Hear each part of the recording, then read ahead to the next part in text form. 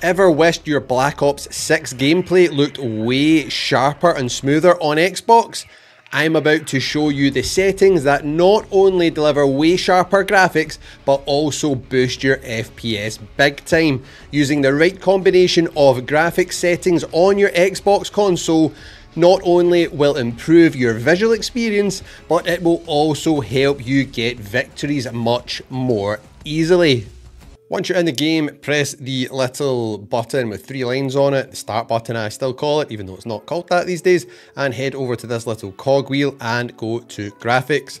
First things first, 120Hz refresh rate, you must ensure that is switched on. That will give you the edge over people who are playing on the cloud or on 60Hz monitors. You will be way, way more responsive as you'll see things way smoother than anyone else. Make sure this is turned on. You need to have a monitor which or a TV which supports this. So it needs to be a high refresh rate monitor, a TV. Make sure you have that. Usually it's an HDMI 2.1 TV you need for this. And also, depending on whether you're on Series S or Series X, this might only be available at certain resolutions. So the Series S, for example, might only be able to do 120 frames per second at 1080p, so make sure you keep that in mind. Next up is gamma and brightness, and I would recommend you just ignore this, just pass it by, unless you want to tweak the brightness settings. This may help you in something like zombies if you're taking it really seriously, as zombies can be quite dark. If you up the brightness, it will help you see some of those bad guys lurking in the shadows. But what we are interested in is sustainability. This part here, surprisingly, this is actually quite important. We have this eco mode preset. Excuse me. You can see there for me, it's set to efficiency. And what is this all about? Well, you can limit your device's energy consumption at the cost of VSync and other performance tweaks. So you want to keep this off all the time to generate the maximum frames possible. So it's trying to be more efficient, use less energy, but that impacts your performance. It means it's not going to be as powerful a machine because it's holding back to save some energy. So you want to click on this and you want to have this off, off all the time. This will help make a difference in your gameplay. Then we go over to the next tab, which is quality and post-processing effect. You see here we have world motion blur and it is currently set to off. You want this to be set to off 100% because motion blur can be super distracting during fights and it also stops you from, you know, maybe spotting enemies in the distance and especially when, you know, you're sprinting, everything is just like a blurry mess just keep this off. You do not want this on. I advise you keep this off big time. Same goes for weapon motion blur. It's just the same thing, but on the weapon, it's split out for some reason. So keep that off also. Then the next one we have is the depth of field. And this one is currently turned on by default. Well, on my game, it's turned on by default, but you actually want to turn this off because when this option is turned on, it adds blur to out of focus regions of the game.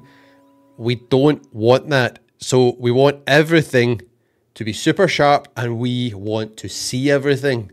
So turn that one off.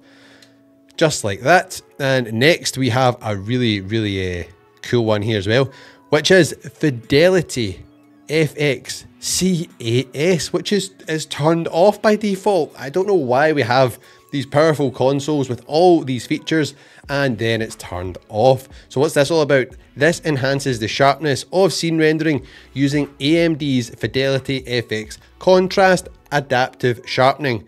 That's what CAS stands for. If you're wondering what this is, it's an image sharpening algorithm that improves visual quality by sharpening images and using optional upscaling. So you want to turn this on. Heck yeah. Why would you have this off? I don't know. But then you've got the strength so how powerful will the upscaling be? I recommend you put this to 100, just maximize it right the way up. You want the sharpest possible image so you can see bad guys moving in the distance, in the long grass and in the trees and stuff like that, so you can take your shot and take them out and get the dub. Perfect. Next, we have got details and textures on demand texture streaming. So, what is this all about? This is a weird one. I've only really ever noticed Call of Duty doing this. Maybe other games do. If you know this, let me know in the comments. But I've I first noticed this in Warzone. And what this is, this is a really important graphic setting as in the game, this is them downloading the textures from the internet that you need to play the game while you're playing the game. So it's really random because it's downloading all these textures and colors and stuff as you're playing, which you wouldn't think would be a good idea, but especially in multiplayer, but that is what they do. So if you're on a paid data plan, a mobile hotspot, uh, you don't have unlimited internet, you know, and or your internet speed is an issue, you have a slow network connection, I recommend setting this one to minimal, which you can see here, just to prevent issues which may arise like high ping as you're downloading all these files and information from the internet. You don't want that because, you know, that's not good for getting the dub. You, you'll just get smoked if you've got high ping. But if you've got good broadband internet, unlimited data plan, keep it on optimized. Next up is view, but before we jump into this one, make sure you leave a comment down below leaving any hints or tips you have or what your preferences are as it may help out your fellow Xbox gamer. Now, we have a whole bunch here on this list and you can see the top one here, we've got motion reduction preset. I recommend you keep that off just as it is. Um, then skip by this next one as well, arachnophobia mode. Then we have got field of view. This is an important one.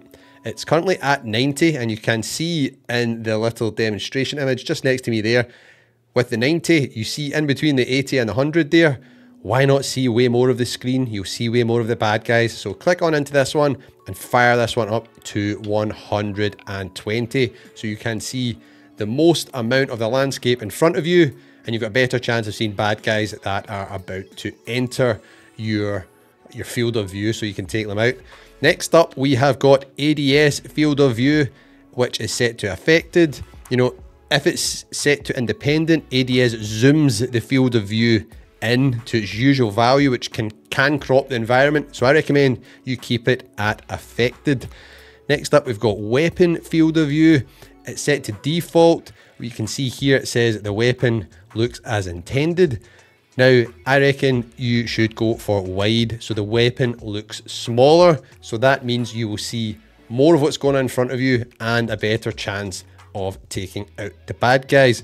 Next, we've got third person field of view, which, I mean, it's maxed out as well. I reckon you should leave it at that. Then we have got vehicle field of view, which is set to default.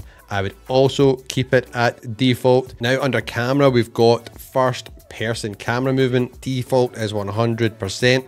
I reckon you should put this to at least, which is 50%. And then we have got one or two more. I would leave these as they are. Apart from this one here, where it says inverted flashbang. This one is quite interesting because, in particular, if you have photosensitivity issues, you can put this on so it's basically a black flashbang which happens instead of the super bright white flashbang you have. And I'll personally just leave that off because I think it's quite cool. The stun granada. Now, all of these settings combined will make a huge difference to how Black Ops 6 runs and feels on your Xbox, and it will help you get way more wins, just like this special modded controller, which you can check out on this video on screen right now, which will help you get even more wins. Or if you want to learn how to enable 120 frames per second mode on your Xbox, check out this tutorial on screen right now, which will show you step by step what you need to do.